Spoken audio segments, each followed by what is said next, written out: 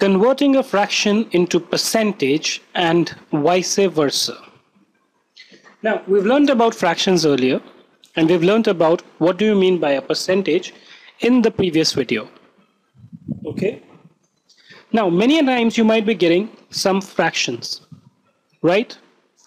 So let's say we saw the famous examples of apples. Okay? Now, what do you mean by a fraction?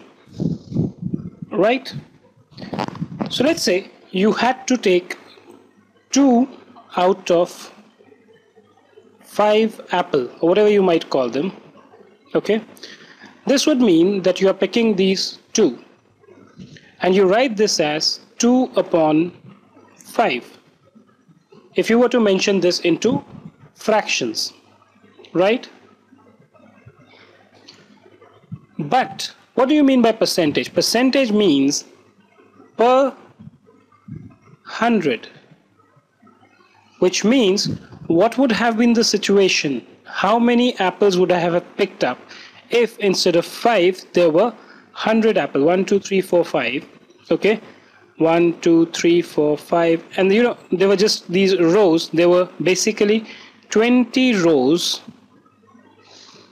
of five apple each right so let's say for example if there were 20 rows until here what would have happened still you would have picked up two apples for every five apples right? So let's say you picked up two apples for every five apples. So what would this mean? This basically means that again you are picking two out of every five apples. So you pick two here, two here, two here and so on.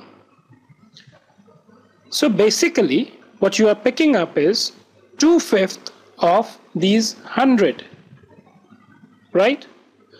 And percentage means per hundred. So whatever number you had, you have to, I mean, if this is less, if this is less than 100,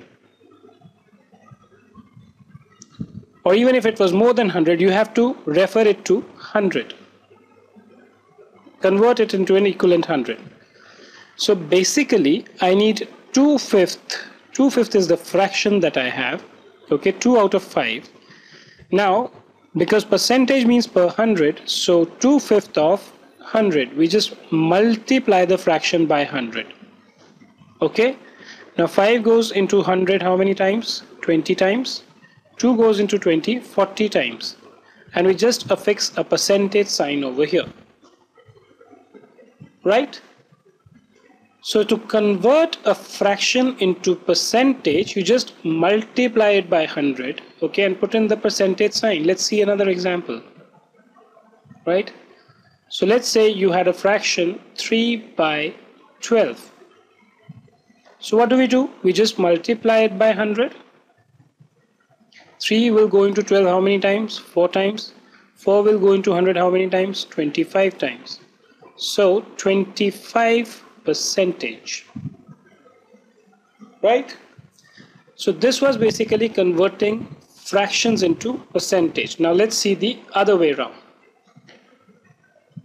So let's say you have 30%, right? 30% means what? 30% means 30 out of 100, right? So what's the total number of item?